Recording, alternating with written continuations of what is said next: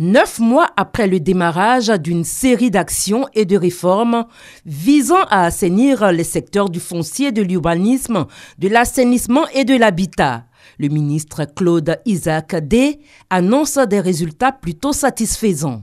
Il a été créé un secteur permanent à la simplification et à la dématérialisation rattachée directement au cabinet.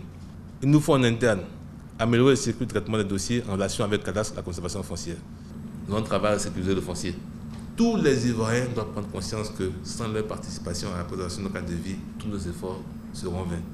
Des réformes qui font bouger aujourd'hui les lignes de ce département, notamment la révision de la politique de l'habitat, sans oublier la question de l'assainissement. Près de 68 milliards de francs CFA sont mobilisés et disponibles dans le cadre de divers projets pour améliorer et résoudre la problématique de l'assainissement en Côte d'Ivoire, notamment à Abidjan. Pour les villes de l'intérieur, notamment la capitale régionale, nous disposons à peu près de, entre 10 et 15 milliards de francs CFA. Un schéma directeur d'assainissement et drainage de la ville d'Abidjan est en, cours de, en cours de finalisation. Nous allons aussi réaliser des schémas d'assainissement et drainage pour certaines capitales régionales du pays. Je voudrais rassurer les Ivoiriens et leur dire ne vous découragez pas.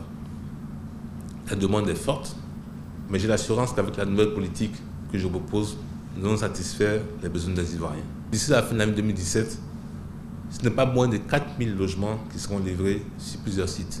Pour les acteurs du secteur, cette vision du gouvernement est à saluer. Il fallait que, après euh, un certain nombre de mois, le ministre puisse expliquer ce que son département fait. Et nous qui sommes dans ce secteur d'activité, savons que ce département travaille énormément. Il y a un architecte pour chaque Ivoirien. Il ne faut pas attendre qu'il y ait des catastrophes pour se tourner vers l'architecte. Et l'architecte, il est d'utilité publique. Notre fonction, c'est le bien-être des populations. Concernant le domaine que nous exerçons, les logements sociaux, économiques et standing, les souscripteurs ont bien compris l'état d'avancement, les mesures qui ont été prises par le ministère pour l'aboutissement euh, des différents chantiers qui sont en cours. Concernant la bonne gouvernance du secteur, des dispositions sont prises, selon Claude Isaac D, pour l'amélioration de la qualité de ces services. L'enjeu aujourd'hui est de faire respecter les procédures et d'inviter les agents du ministère à la probité.